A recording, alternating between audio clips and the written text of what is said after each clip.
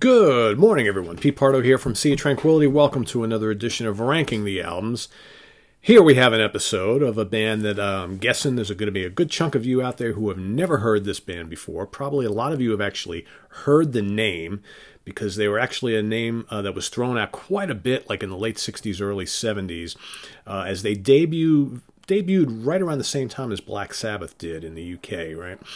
And also were a band that had a lot of kind of occult images at the time. So Black Sabbath, Black Widow, you know, one of the two kind of evil sounding bands that emerged uh, from the scene there in Great Britain uh, right around the 1969-1970 time frame. Okay, but as history shows it, they were a band that, other than you know some lyrical content on mostly their first album, didn't really back it up with that heaviness and doominess like their counterparts Black Sabbath did. So uh, you know, like I said, name got tossed around a lot back in the day, comparing themselves to Black Sabbath. But when you get right down to it, music not all that similar at all. All right, at uh, basically at their core, for me anyway, when I listen to Black Widow, they sound more like uh, you know they've got a heavy Hammond organ presence, bluesy guitar work, lots of flute and a bit of sax. So it's kind of like this like Deep Purple meets Jethro Tull meets like Steppenwolf type of sound. Little bits of psychedelia here and there. The first album is uh, pretty unique because it's got like some overt uh, sexual, sexual, satanic uh, lyricism. Okay, maybe a little bit uh, over the top for some, but the music is actually pretty good.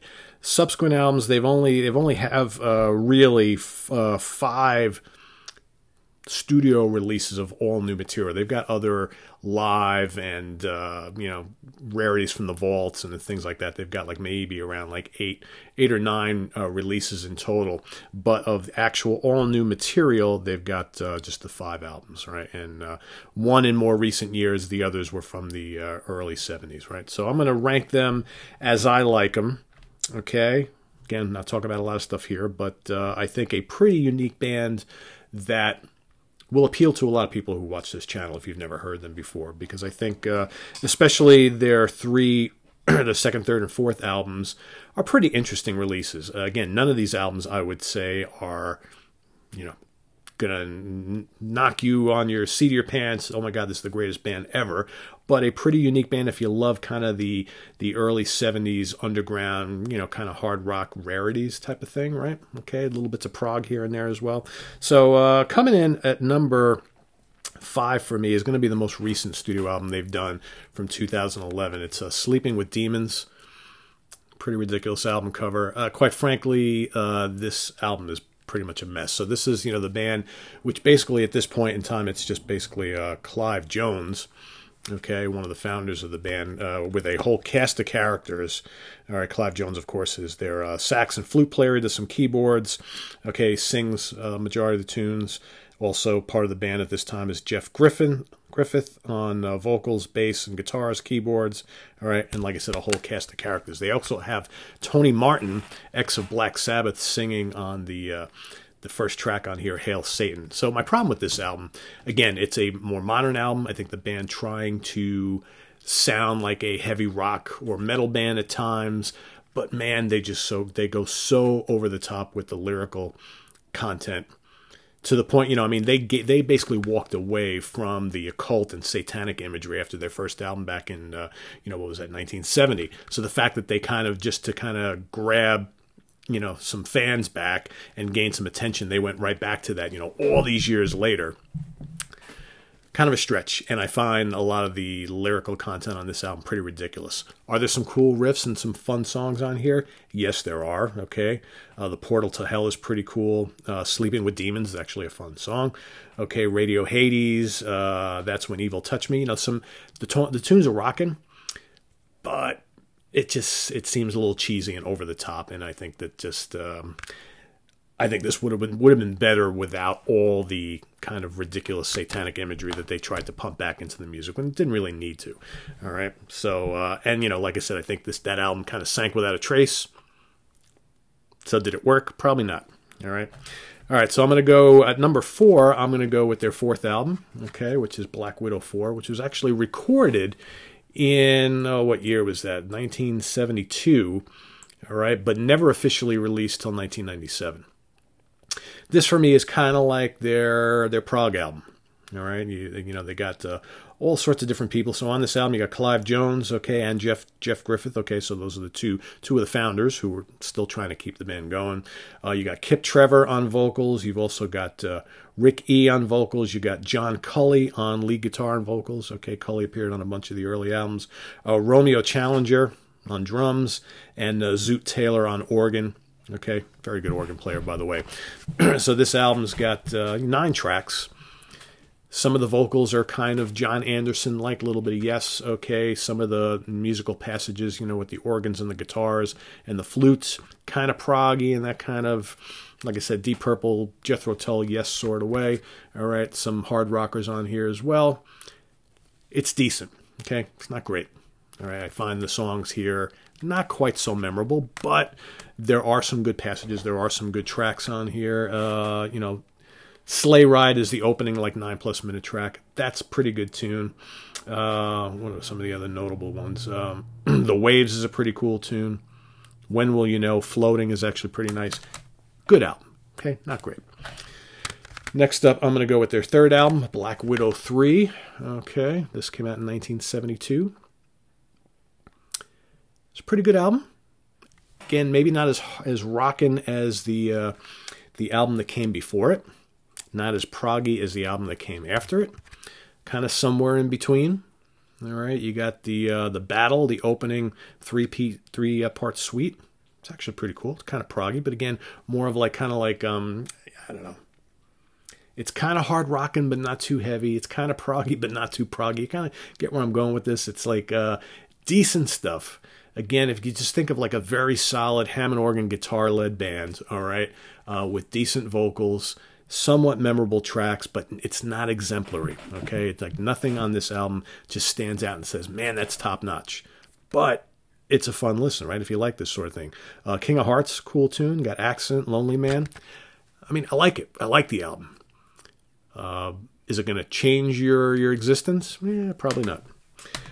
All right, for me, these the top two are actually really good albums in my opinion. All right, so I'm going to go with the, the, the first album, Sacrifice from 1970.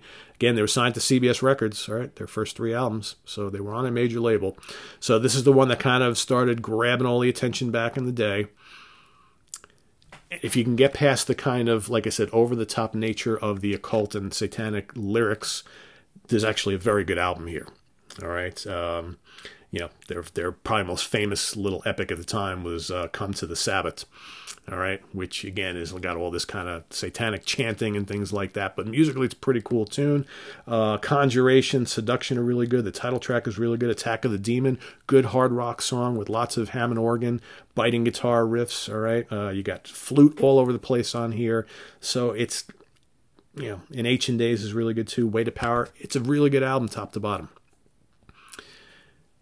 you know, again, just gotta think of. I'm trying to think what that. The, you remember Comus, another band from uh, back around that time who were doing more of kind of like a folky version of this with all the occult imagery and what have you. So think of a little heavier version of that, but certainly not Black Sabbath heavy. Okay, I mean this sounds nothing like Sabbath what they were doing. More on the occult imagery, less on the power chords and all that kind of stuff, but you got Hammond organ, flute, and some tasty guitar licks in there. I like that album. Good album. all right, number one for me is going to be their second album, Black Widow from 1971. This is quite a good album here. What I like about this album is this is more of so by this time their second album, so not even barely a year later, they decide to scrap all the occult and satanic stuff. All right, and just go for, be a regular hard rock band. Uh, there's what about ten tracks on here good hard rock album. All right. Plenty of Hammond organ, tasty rock riffing. All right. And uh, let's see if I can show you a picture of the band in here. Yeah, there they are. Okay. Good stuff on here. Um, like I said, I think for me, this has a lot of memorable songs. I love the, the guitar riffing on here.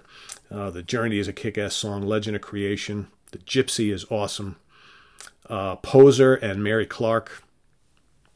Top notch tunes. Good, good early 70s hard rock album. I dig it. So for me, it's my favorite, but I will say that I dig the debut a lot. Sacrifice. So those are easily the top two. The rest, you know, if you get none, nothing else by this band, those uh, those first two, that's what I'd go for. I think you'll dig both of them. So coming in number one, we're going to go with uh, self-titled from 71. Number two, their debut, Sacrifice from 1970. Number three, their third album, okay, from uh, 1972. Their fourth album, also from uh, that same time period, but not released till 97. And coming in dead last from 2011, uh, Sleeping with Demons. All right, there you have it quick little episode on a kind of a cool little unknown band that uh, probably worth checking out for you if you've never heard them before. I, I kind of dig them. Like I said, we've, we've actually had some people who have asked for them. So uh, thankfully I had everything here. So uh, glad to bring it to you. So visit us on the web at www.seatranquility.org. We're on Facebook. We're on Twitter. Of course, we're here on YouTube all the damn time. What's coming up, you might be asked momentarily. Going to rank the albums of Trapeze. I've been looking forward to doing that one. Uh, also, I got another special. Uh, a lot of people seem to like the um, the comeback reunion show I did yesterday. I'm going to try and get to more of that sort of stuff. So, uh, what I've got, what I'm working on, probably won't deliver till tomorrow. Is uh, or tomorrow or over the weekend is I'm doing a uh, show that's actually was asked for quite a lot. Um, geez, back a year or so ago, and I kind of put it on the back burner. But I was going through my to do list and saying, hey, I got to get back to that show. A lot of you wanted to know what are some of my favorite the must hear, must have Mellotron albums. So, albums, mostly prog albums, featuring big time the mighty keyboard, the Mellotron. More like a tape machine, right? But it's still seen as a keyboard. Uh, there's been a lot of classics over the years of bands that have featured that very cool symphonic instrument, okay, bringing all those great orchestral sounds and brass sounds and what have you. Um, it's a beloved instrument to prog fans. So what I'm going to do is I'm going to put together my list of some of the top albums that featured the Mellotron amongst other instruments, okay, that are must-hears. So that should be kind of fun. So I got my list, putting my list together, just kind of fixing it up. I will also want to show the discs on this one as well. So that's coming up over the next couple days, all right? So you got to see that. We got uh, top 10 songs with Jack Toledano. Going to be doing Iced Earth this weekend other stuff happening too, right? Too many to mention. Uh, to rank the albums of the Rolling Stones. That's coming too uh, this weekend. So we'll see you guys then, right? Oh, probably also another uh, Monsters Den, all right? Guys, got to watch some Monsters Den shows because uh, it's nobody's watching them. All right. If, uh, if they're going to continue to dwindle in views, I'm going to stop doing them. I'm enjoying doing them, but uh, you know I got to stick with stuff that people want to watch here. So I know there's a few of you who seem to like the Monsters Den. That's great, but uh, I've noticed the viewership on each one has gotten less and less and less. So like I said, not going to keep doing it if nobody's watching them. I know, I know, I enjoy doing them, but uh, apparently we don't have enough uh, classic horror and monster film fans on here, or maybe I'm just not doing the stuff you like, or I don't know, who knows. But uh, anyway, so that's coming up this weekend, right? All right so we'll see you soon. Take care. Bye bye.